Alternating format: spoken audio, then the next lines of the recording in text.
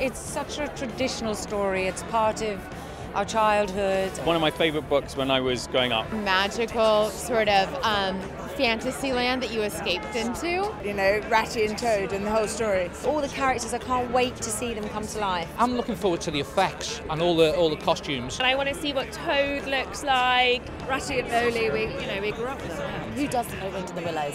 Uh, so I'm really excited to see something lovely and new in the West End as well. It conjures up lovely memories, and it's such a simple story. But I'm looking forward to see uh, Julian Fellowes' adaptation.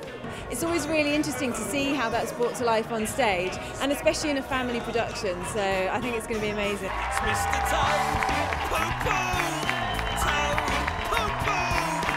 It's very fun, very funny. It's family, but like from the ages of five to 95, you can enjoy it. Pure escapism in the English countryside. And a message of kind of about friendship. Do something that I think so many people have grown up with and have an experience with. And tonight we've sent everybody home.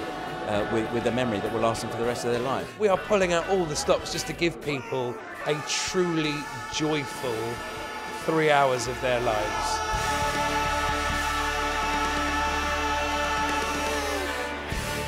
Mirror signal maneuver.